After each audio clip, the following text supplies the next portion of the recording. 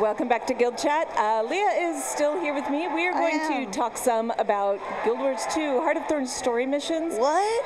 I am so glad you made it into. I know I didn't need to surprise you or anything. I I told her she was sitting up here to get a present. And the present is to talk about story missions. Uh, it is kind of one of my favorite things. See, so that's good. I know, yeah. I know you pretty well. All right, so things that we're talking about today is just the differences we've made in story missions, making the player more a part of it, giving the player more choices, Mm-hmm. and we're going to kick that off with a quick run through of one of the first story missions. If you've participated in the beta weekend events up to now, you've seen this. And this is a really good illustration of all of the things that you and the narrative team have done. Yeah, and it's, It's, it, there's a, there's so much that we're just like, oh, where do we even start? so yeah, I think it'll be nice to kind of look at the video, see some things so we can point at those. But absolutely, the narrative team had a real desire, um, also working not just the folks on the narrative team, but the folks in design, the folks in all these other areas who really wanted to make sure that the player is feeling like they are the commander, they're in charge, they're really doing a lot of things, and, and that their choices matter, and that their experience and their actions in this game matter. Um, and yeah, I think this is a really good example. Yeah, and we let's can start it off by seeing how much more involved the player is in the choices that you get. So let's take a look at the video.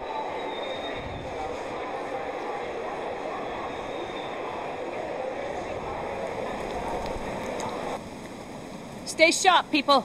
Mordremoth hit the pact hard. It's up to us to pick up the pieces.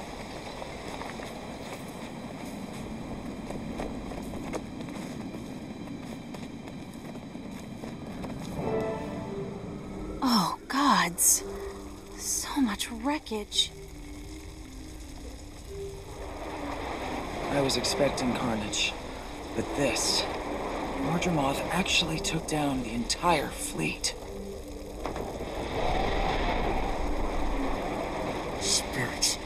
Could anyone have survived? We need to get down there, fast!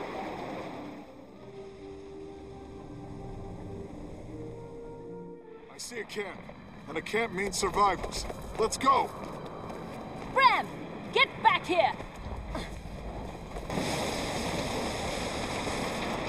I'm Mayor Stagolka's son. I want to know where she is. Bram, you mustn't run off like that. We're in enemy territory. Laranthir, glad to see you survived.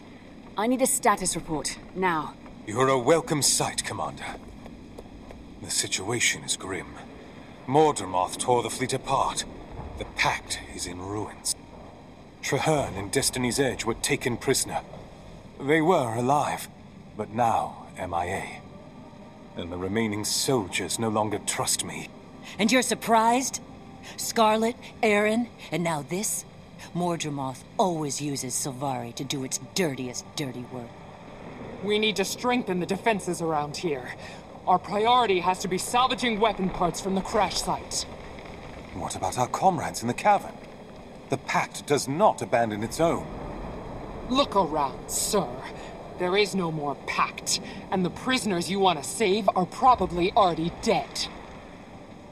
Think it through, soldier. We need greater numbers, or any salvage party we send will disappear like the others. This isn't helping. Just tell us where Destiny's Edge is, please. Laranthir, stand by. I believe you're still on our side, but I need to think this through.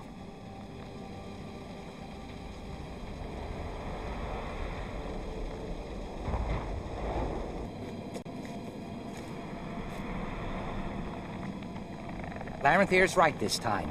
We have to rescue the Pact prisoners. It's both logical and our duty.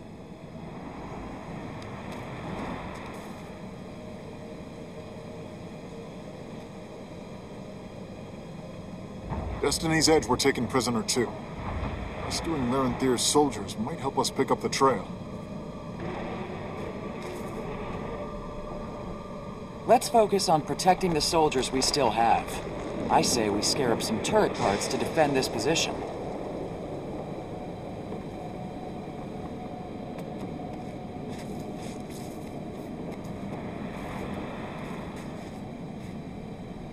Need supplies and salvage to build up this position, or we're all gonna die.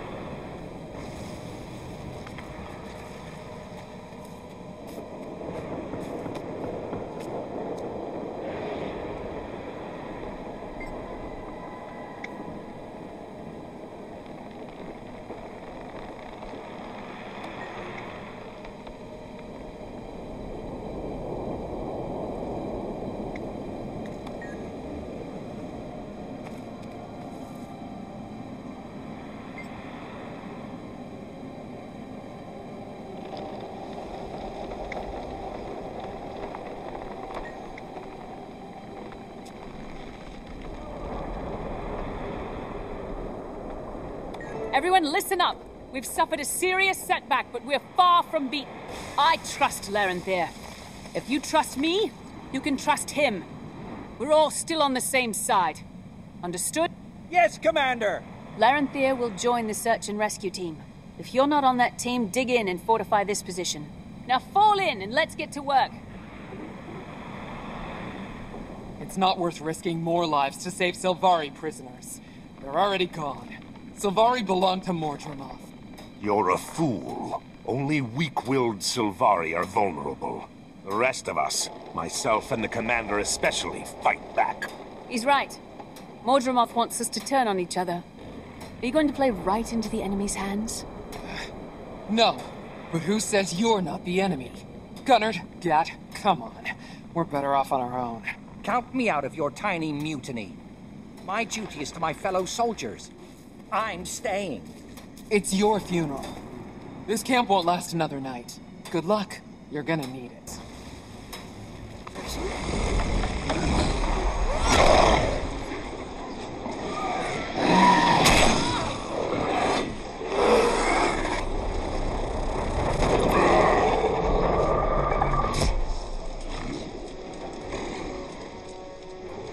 Sharpen your blades and guard your vitals.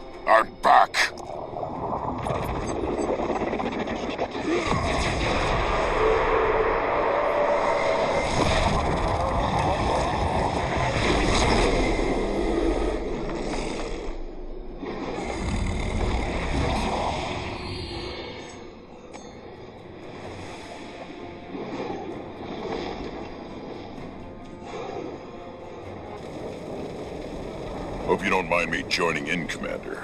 It looked like you could use some help. Tribune, you're alive. But where have you been? And what's that new magic you're using? Later, Cub. All you need to know is that I'm back, and I'm better than ever. Right now, we've got comrades to rescue and dragon minions to kill. Rytlock's right. We need to find Destiny's Edge and hit Mordremoth where it lives. Let's go, Tribune. Time for us to kill another Elder Dragon.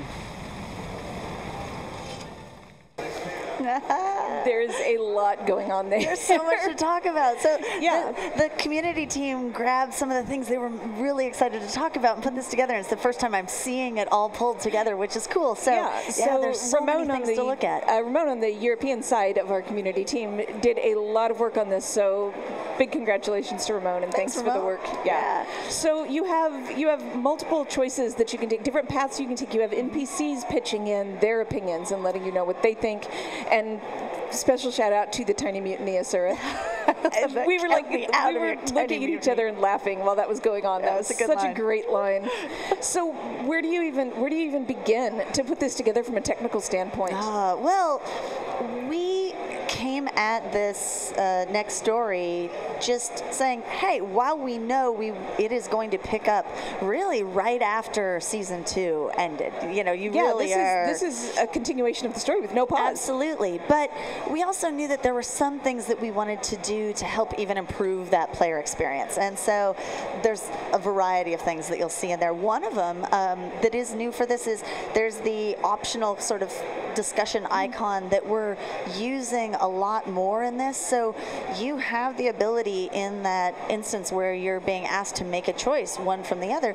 You could just make a choice based on your gut instinct, or you have the option to go around and talk to various people, get their input, um, and understand. So that can be as in depth as you want it to be. It could be faster. It could be more like, no, I know that this is what feels Yeah. right to me immediately, and that I think is really big Well, because it's something I appreciate because I really, I personally, in my gameplay, I like that kind of thing. I want to know what's going on, and I really like to delve into the story. I know not everybody does. Some people just want to get to the fighting part, and I like that we've made it so that can happen. and we want to enable that. So it's entirely possible not to go um, and talk with any of those people who have that optional thing. You can just make your choice right away.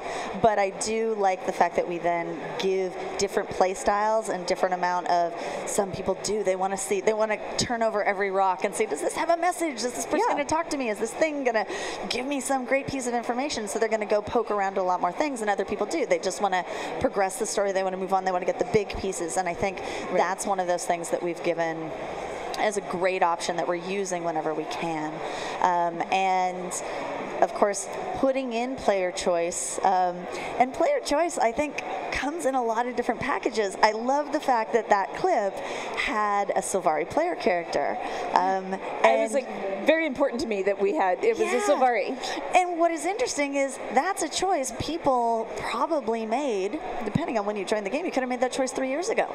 But that choice absolutely has an impact on what's going on in this particular game. And, and so having those choice moments, but also really building upon things that you've done in your past as a character was important to us as well.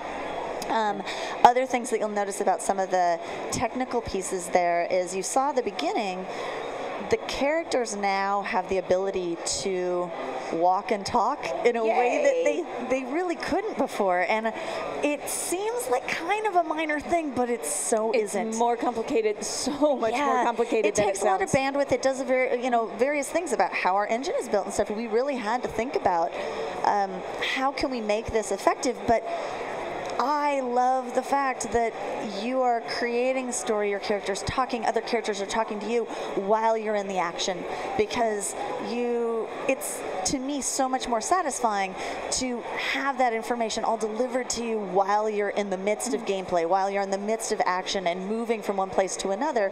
Because it's so much more natural. It's so much more the way we all live. Granted, we're probably not in a dragon-infested jungle, you know, fighting off those. I know, isn't that good for us?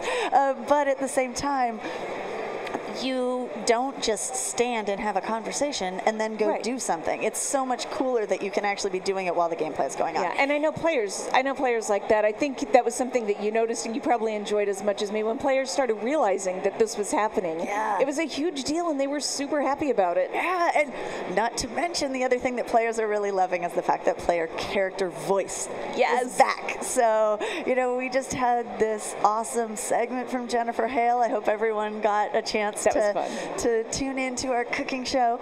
Um, but, you know, she plays the Sylvari female character, Mm-hmm. and there is that um, just awesomeness that comes when you know, oh, when I started off playing this game, this was the character that I was working with, and and it just it feels kind of like coming home, and it really is part of that, giving that sense of player character agency. And how important it is for the player character to be the one sort of leading the action, making Right. the decisions, making the choices, and giving them a voice is a big part of that. So it's something that we're really excited that we are able to bring back um, into the game now. Yeah, well, these are your characters, and the more they can do, and the more, like you said, player agency, the more they can do as far as that goes, the better it is. Absolutely. So I think the amount of work it took to put that in there was totally worth it.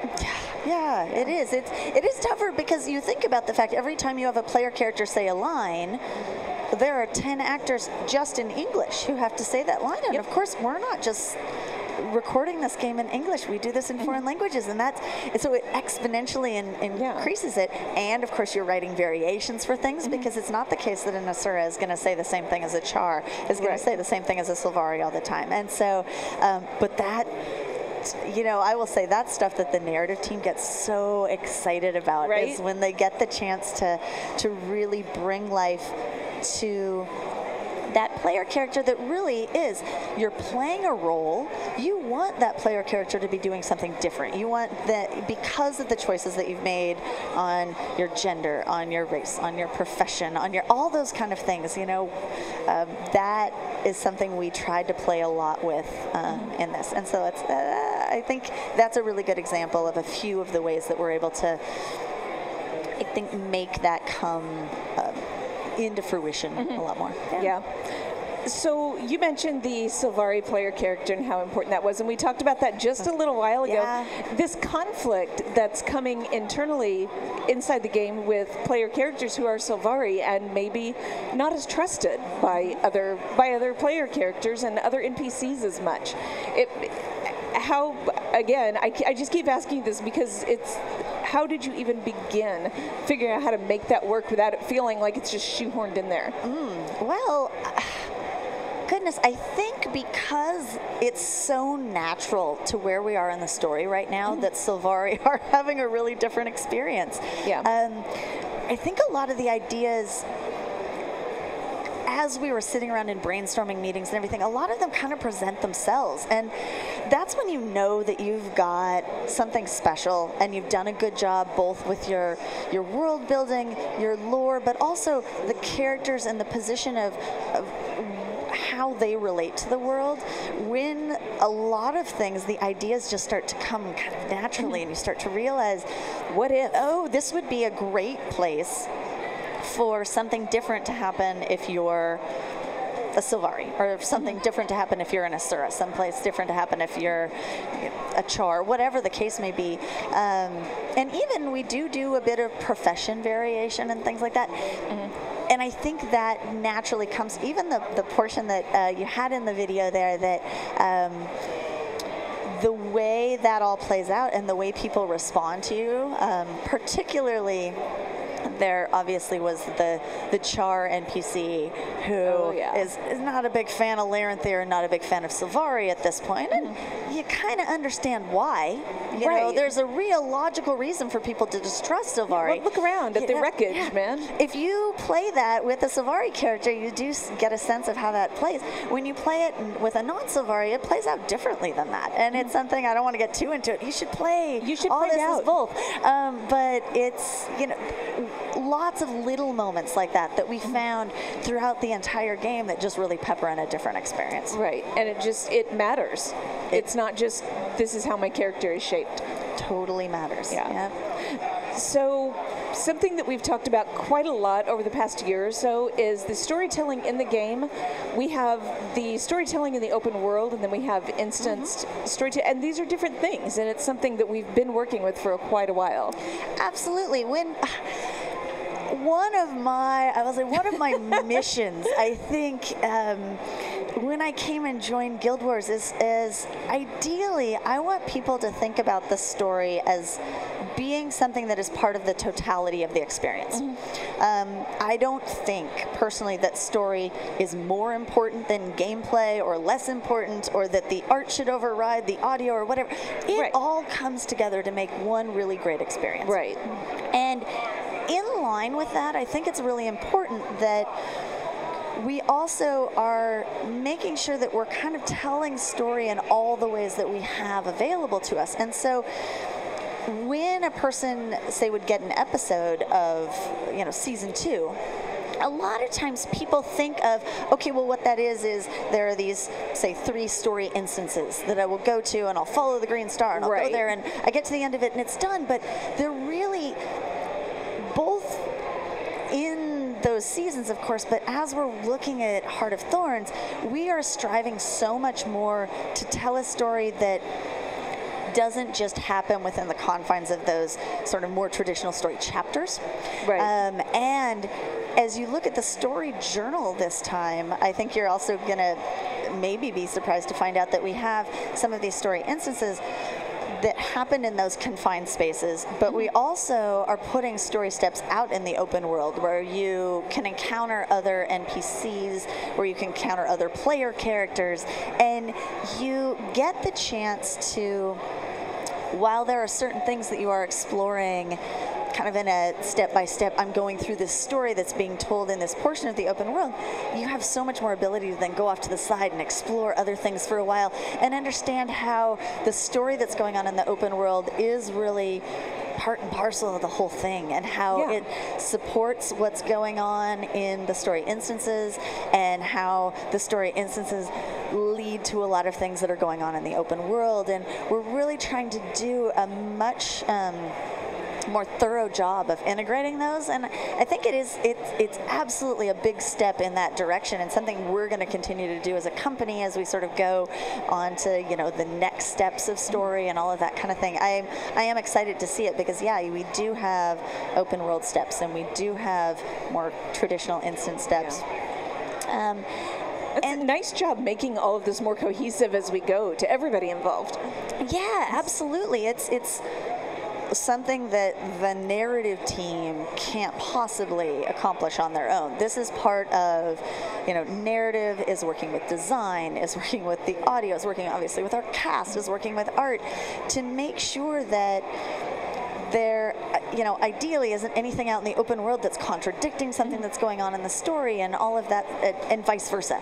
That we really are working together, and you know, it's it's quite a challenge because there's a lot of people who make this game, um, and a lot of turns out. conversations that have to go on um, in the back and forth, and, and trying to make sure that somebody has a great idea over here and they're working in Right. a corner of a certain map and they start building on something and then we find out about it and we're like oh wow that's really cool but there's this one aspect of it that kind of goes counter to what we're doing over mm-hmm. here. Could we do this other thing with it? And and when you start to have those moments i think those are the things that people who are working on this game those are the kind of things that get them super excited because they start to realize how everybody's ideas are contributing to this whole experience and how they are so interwoven and the more ways we can find to really weave them in together and to have things that just you start to seize upon these little opportunities to help pay off something that happened maybe in the more linear story that happens in the